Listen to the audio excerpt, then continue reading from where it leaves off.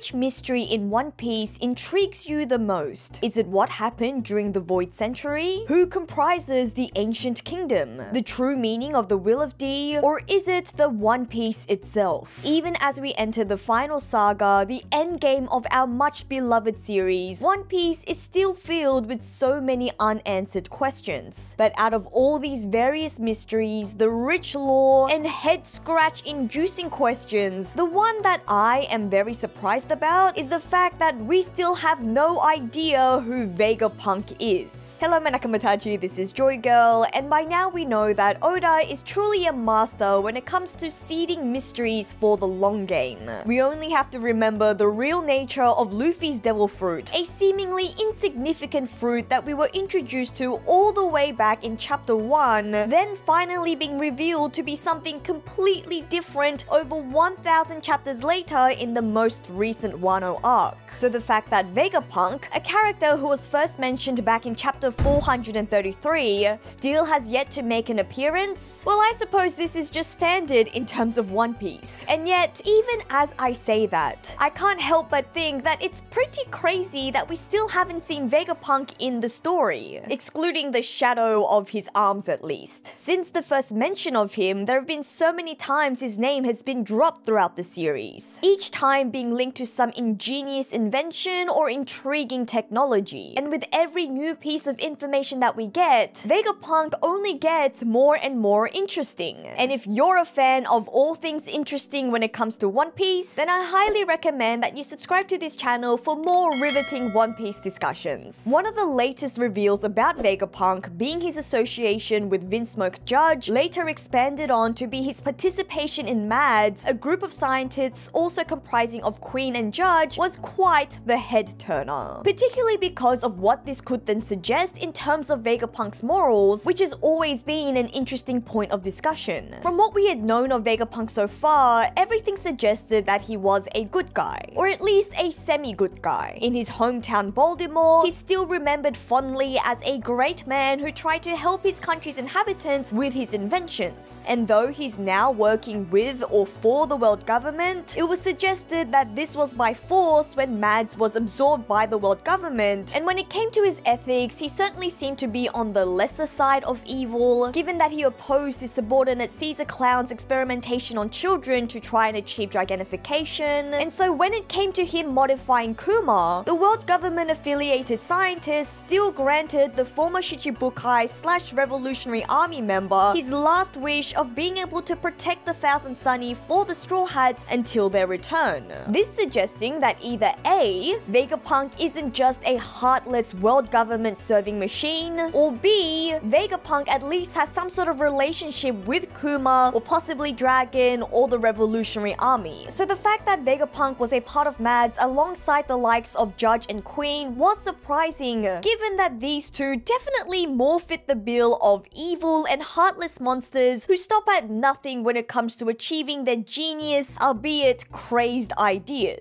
And with these sort of reveals dropping about Vegapunk in his absence, and with all the different inventions we know him to be responsible for, you would think that he would have appeared by now. In fact, my guess was that Vegapunk would show up at Wano, and I'm sure I'm not the only one who suspected this, especially when it was suggested during the Wano arc that some world government or marine figures would make an appearance. Vegapunk was near the top of my list of individuals who I thought would make perfect sense to tie into the story at that point. With Momonosuke's artificial devil fruit, which we were introduced to all the way back in Punk Hazard, being modeled after Kaido's devil fruit, and then even the CP0 making references to this during the Onigashima raid, commenting that thank goodness that Vegapunk's attempt was only a failure, but then that being a case of dramatic irony based on what we know so far about Momonosuke having that artificial devil fruit, and also as far as we can see, it's not really a failure, or is it a case of reverse dramatic irony? Because they know something we don't about why it's actually a failure. But even aside from Kaido and Momonosuke's devil fruit, we also saw the numbers at Wano, which is sure to be one of Vegapunk's creations, and given that Wano is home to a vast amount of minerals and riches, as well as Franky's history and connection to Baldimore, having been sent to Karakuri Island during the time skip, Vegapunk showing up to help Frankie develop new tech before the Straw Hats entered the final saga would have been pretty cool. But of course, course, those were just my justifications and wishes, and at the end of the day, what do I know? That being said, even though we didn't see Vegapunk show up at Wano, I still do think we are pretty close to being introduced to him very soon, or relatively soon. We are now in the final saga where the inevitable clash between the Marines and the world government against the Straw Hats will have to happen, therefore bringing the SSG into the fold. And as Luffy and the crew have all gotten power-ups, we do need a new threat, and it seems Vegapunk's newest invention may be that force to boost the might of the Marines. And even more recently, developments in the last couple of chapters strongly suggest that the story is going to pivot to focus on the Revolutionary Army, with chapter 1058 even showing us the turned cyborg Kuma. And Kuma's dialogue in this chapter again raises a very intriguing question about Vegapunk. More specifically, about whether Vegapunk is somehow related to the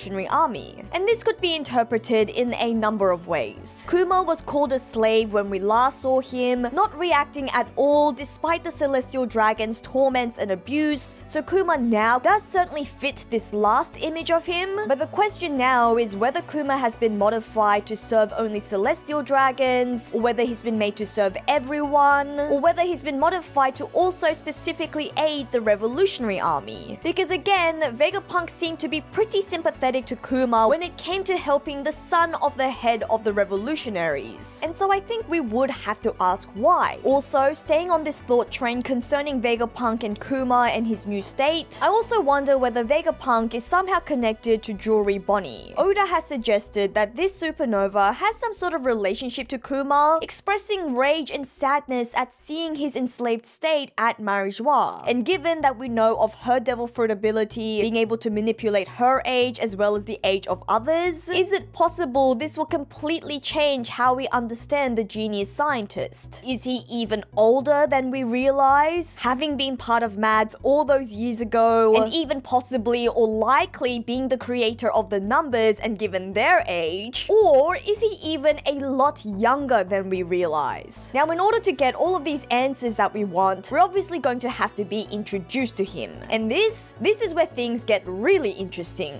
Because now that we are this far into the series, and with still only a shadow and a number of mentions to speak for this brilliant scientist, I'm left wondering whether Vegapunk will be a completely new character, or a character that we've actually been introduced to before. And the reason why I propose this is because again, how far we've come into the series. If Vegapunk is to have proper character development and characterization, I seriously wonder whether Oda will have enough time to explore all of this. Especially because as of late, it seems like the mangaka is really hurtling towards that finish line. And if the reason why we still haven't been introduced to Vegapunk is because Oda wants to make a surprising reveal, what would rank higher on the shock factor? Showing us a character that we've never seen before, or showing us a character that we have seen before, but introducing them as Vegapunk, completely flipping our understanding of that character on its head. It's sort of similar to the reveal of Luffy's Devil Fruit.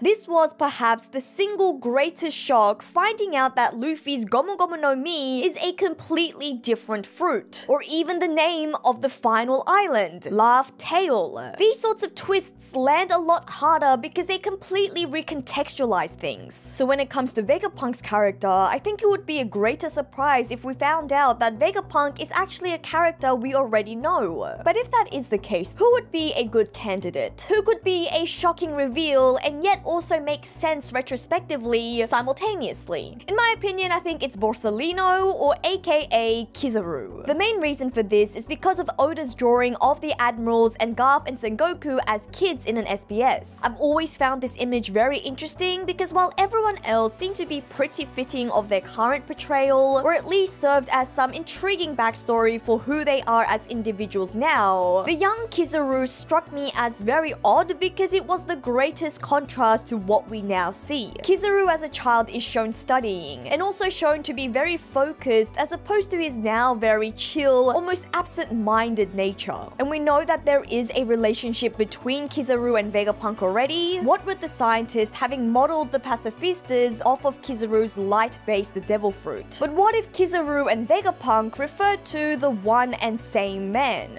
And what if it was Kizaru using his own devil fruit as an inspiration for his inventions? Not to mention that Sentomaru was known to be Vegapunk's bodyguard, and we know that Kizaru and Sentomaru have a pretty close relationship, and if this is true and Kizaru is Vegapunk, then this could have some even greater further implications and raise questions like, is Kizaru slash Vegapunk also a part of SWORD? I mean, there have long been speculations about which of the higher ranking Marines may also be a part of this inside group, and although the more morally astute Aokiji may seem like the more obvious choice, Kizaru could be a very shocking candidate. And now you could make a counter argument that all of this doesn't fit with the portrayal of Kizaru in the series so far. I mean, he's never shown hesitation when it comes to being ruthless or following orders. But the counter argument could be that all of this was a front so that he wouldn't be made out if Vegapunk's true identity is something that has to be kept hidden. Also, as much as Kizaru wasn't shown as being as sympathetic like Aokiji or Fujitora, he's also never been so committed to the cause of the world government and justice like Akainu is. And in that sense, it also makes sense why he has that brand of unclear justice, because that's actually also quite an apt explanation of Vegapunk's moral standing. Now, of course, all of these are just speculations, and Kizaru may just be the way he is just cause, but I do think this is still a very valid question to wonder about. Is Vegapunk really a character that we've never seen before? And if so, then how is he going to play a part in the massive revolutionary army plotline that seems to be brewing right now? And if he is a character that we have seen before, then who do you think he or she is? And with the amount of times that Vegapunk was alluded to in the latest arc with Kaido, with Momonosuke, even with Orochi, maybe Vegapunk will be somehow connected or related to Wano. Either way, I'm really excited to find out who Vegapunk is, and again, I do think that that moment, that reveal, is soon upon us, especially because a lot of the things that I mentioned about his involvement in so many other plot lines, like Momonosuke's Devil Fruit and like Kaido, I do think it will be explained at some point in the series, otherwise why would Oda have teased all of this? And so I can only imagine that that means that's going to happen sometime soon, or relatively soon. But anyways, let me know your thoughts on these questions by leaving a comment below. Don't forget to subscribe for more One Piece discussions. You can also join our Joy Fleet Discord server or even become a Patreon member. And I do want to thank all our patrons for help supporting the channel. This is Joy Girl, and I'll see you again soon.